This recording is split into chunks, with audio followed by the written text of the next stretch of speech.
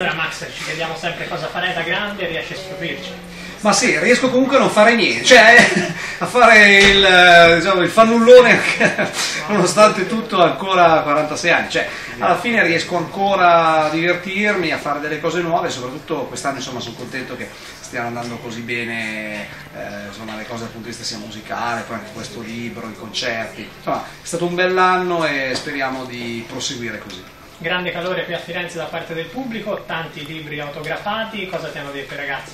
Ma in linea di massima insomma c'è tanto calore come dicevi tu giustamente, eh, ci sono complimenti per, insomma, per, queste, per, per l'ultimo disco, eh, chi ha già letto il libro comunque si è divertito a leggerlo, un, eh, insomma sono dei commenti molto molto incoraggianti quindi sono molto felice di questa cosa. Sì, sì, sì, no, no. Che storia è stata la, la tua? Uno strano percorso sicuramente, però dove ti ha portato o più che come è iniziato? Ma è una storia assolutamente strana, come dicevi tu giustamente, ed è una, è una, storia in cui non avrei mai pensato per arrivare a questo punto, cioè di essere ancora dopo 22 anni più o meno di lavoro ancora fare questo.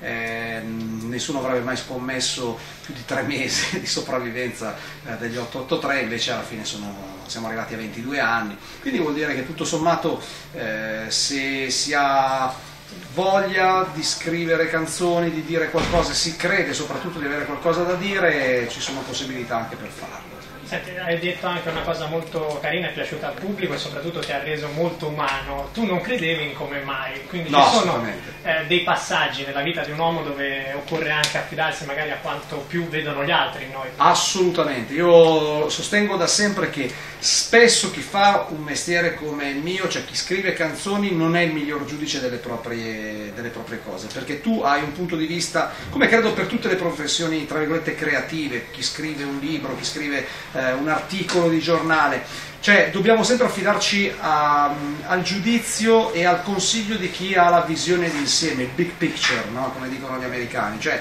riesce a inquadrare le cose nel loro contesto. Noi che scriviamo le cose spesso siamo troppo coinvolti e quindi una cosa eh, la vediamo troppo dall'interno, bisogna sempre affidarsi, eh, trovare dei buoni collaboratori è più importante quasi di avere del talento. Grazie Max e in bocca al lupo. Crepi il lupo.